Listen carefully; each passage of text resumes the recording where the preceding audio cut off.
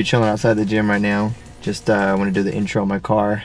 But yeah, today we're hitting some shoulders and maybe some triceps and maybe some abs. So we're just gonna see how it goes. But shoulders, um, as you guys know, I dedicate an entire training day just mostly focus on shoulders because they can take a lot of volume and I train them at least twice a week on their own because I think it is essential for an aesthetic physique with building that taper.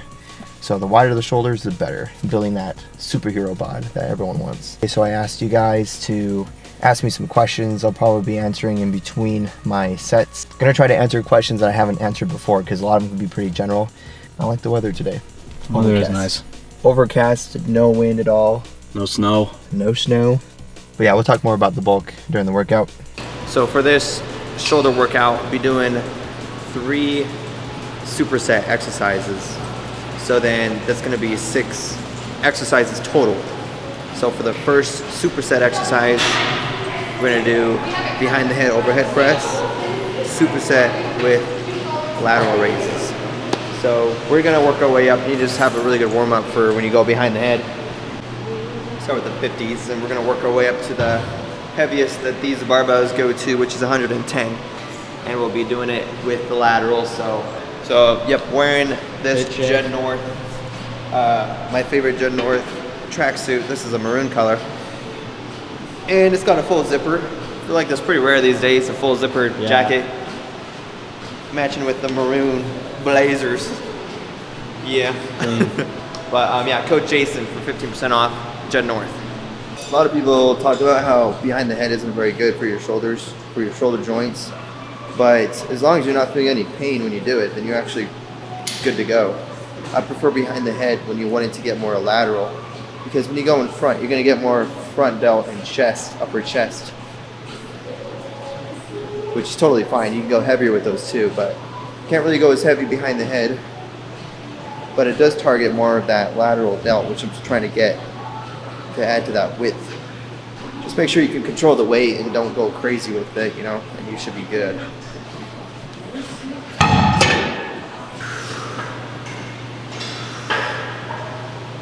So we're going 10 and 10, 10 reps behind the head, 10 lateral.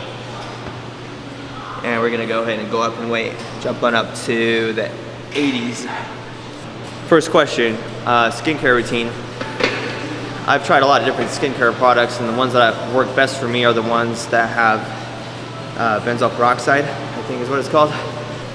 I'm pretty sure that's the ingredient or whatever. ingredient, Or what is it called? I don't know. Nobody that says an ingredient, right? Yeah, benzoyl peroxide. I use PanOxyl. So this is like the face wash where you use water. It's worked the best for me. So if you have any acne, body acne, you can use like a scrubber and get behind your back with it, or if your face, if you have face acne, use PanOxyl. And then if you want to do like spot treatment, then tretinoin is the best. Has different levels of strength. You have to get a prescription for it. So, but yeah, tretinoin, PanOxyl. I got okay skin. I don't have the best skin. I get acne, but I don't have the worst. It's not terrible. It's in between. I was thinking diet's huge, bro. Diet, so many people too, that yeah. are complaining about their acne have a crap diet. That's yeah. Diet definitely makes a big difference. Hormonal acne usually is around the chin, Uh-huh. And that usually is associated with diet. Yeah. For me, it's with a lot of dairy. yeah. So I try to avoid dairy as much as I can. But it just depends. Like a lot of oily foods, you're not going to do too well with your skin. A lot of you ask what my split is, my workout split. I guess you can call it the bro split, which is like kind of training specific muscle groups. So it's not push pull legs. It's like chest on its own, back on its own, shoulders, buys, tries, and then legs on their own. So that's usually my daily split. Sometimes I do back and buys together, but I prefer to have my own day for buys and tries. It all just kind of depends. But I like to dedicate an entire training day for shoulders, an entire day for chest, and an entire day for back. Because first of all, I like to go to the gym, so I can go to the gym more often Yep. and I usually just do like one rest day per week. Another question is what supplements do I take? I recommend three. first one, which we just mentioned, is pre-workout. Um, so I think, you know, if you can make, if there's some way to make your workouts better, pre-workout is one of those best ways to help you focus, get really good pumps and everything. So I like pre-workout, creatine, and whey protein.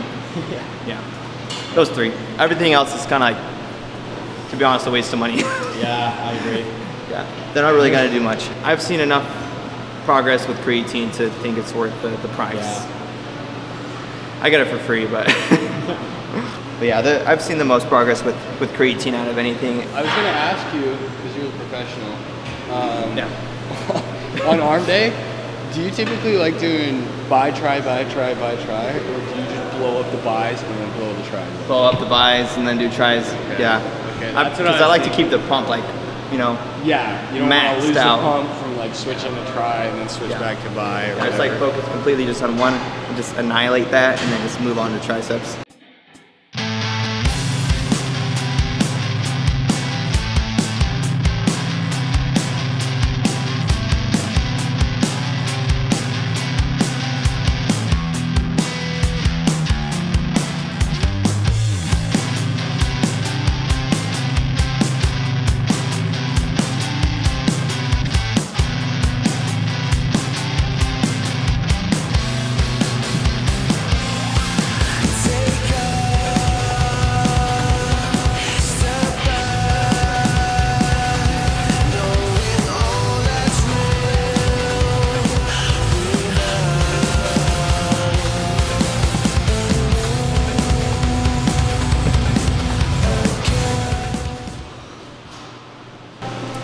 We're gonna do a cable lateral raise, and we're gonna superset it with a dumb or a barbell upright row.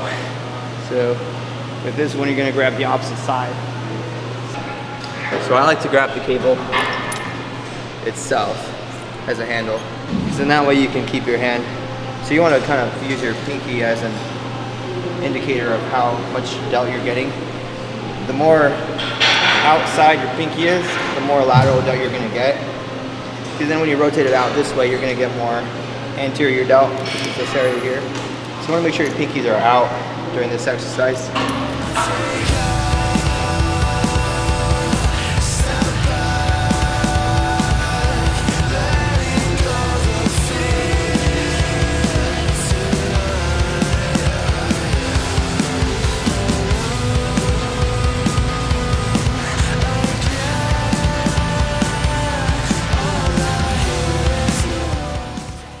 So, general questions that everyone asks. Um, age, I'm 26. My birthday is July 12th. Height, 5'8". Uh, been training for 10 years. Started at age 16. Where am I from? Utah. Been going to this this gym like four years. Performance 24/7. I like 24/7 gyms. You can train on the holidays. You can train like longer on the, like a lot of gyms close early on the weekends, so you can train like sessions like on the weekend. So another good question is how to gain a following on social media, specifically Instagram. Right now I'm about 552,000. This year alone gained 300,000 followers. So the main thing, number one, is to post daily if you can. Um, so first you have to enjoy what you're doing. So if you're already in the gym every day and you're taking pictures, posting something is better than nothing, right? Because the more content you get out, the more of an audience is gonna it's gonna reach. So then they'll give you a follow. Post stuff that is like interesting and unique. Because the fitness world is oversaturated. We won't like I can't believe how many fitness accounts there are. So if you want to be different, you have to be unique and be yourself. I started out posting a combination of flips. If you scroll down further in my account, you'll see a lot of my flip content, like gymnastics and calisthenics. I still do post it occasionally, but I think that's kind of what set me apart to begin with. So I got, you know, a combination of fitness content, gymnastics, flips. Right now it's more focused on fitness because I already built a following. And for me, being lean year round helps a lot too because I have abs. People love following people who know how to have abs. So it catches their attention on the Explore feed. But um, if you can get a good camera as well, that will set you apart. I have a Canon Rebel T8i which is not as good as Jens's camera, Yep. but it's a good starter camera. You just need to stop like caring what people think. You're gonna get a lot of haters no matter what. So just as long as you don't care what people think and just be yourself and have fun with it, then that's really the most important thing. Because even if you don't get any followers, at least you're doing it for yourself and you can use it as like a journal to see progress.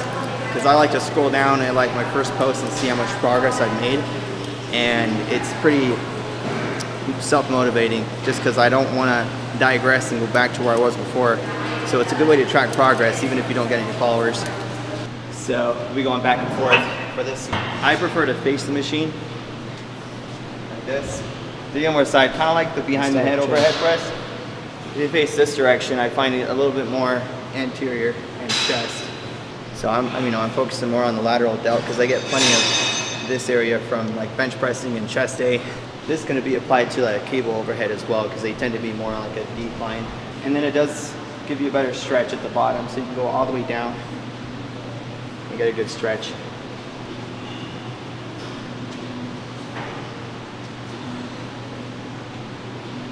Gonna uh, run over to the cables. So what you're gonna do here is similar to the other one where, you know, we were doing the upright row.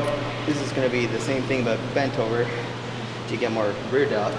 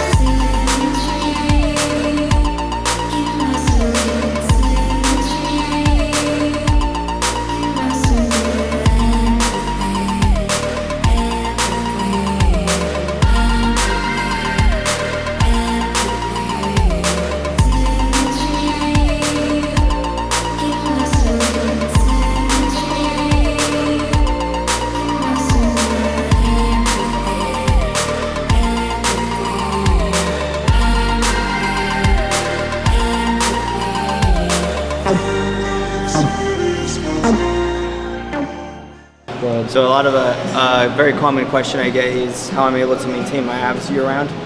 And to be honest, it is mostly genetics. People carry fat in different parts of their body depending on their genetics. So there's different fat distribution. I'm pretty lucky because I don't really carry much fat in my midsection um, based off my genetics. So the last place I would gain fat if I were to gain weight would be in my midsection, which is why I'm able to maintain my abs year round.